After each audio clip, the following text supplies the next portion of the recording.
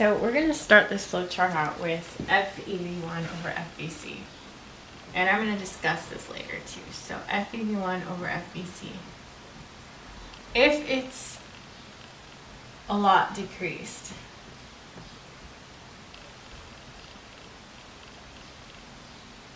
or if it's just mildly decreasing close to normal.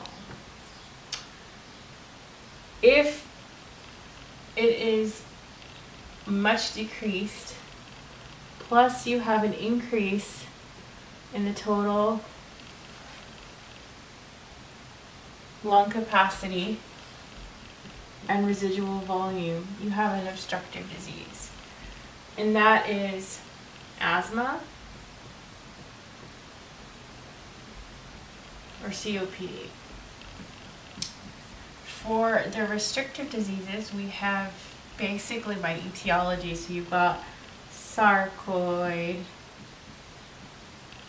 pneumoconiosis, asbestosis. Those are like the main ones. But there are many others. Now, between um, asthma and COPD, remember that asthma is going to improve slightly on bronchodilator therapy. So if you were to repeat these tests after uh, bronchodilator therapy, you would see some improvement. And that's not the case with the COPD. In COPD, within that, between bronchitis and emphysema,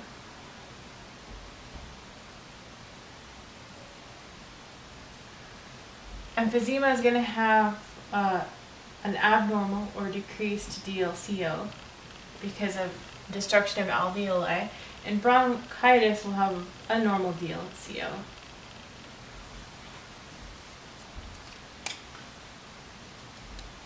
You need to know the individual etiologies. That's the main, that's the main differentiating factor.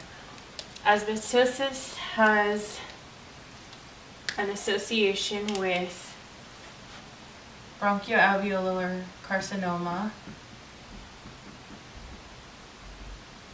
and mesothelioma.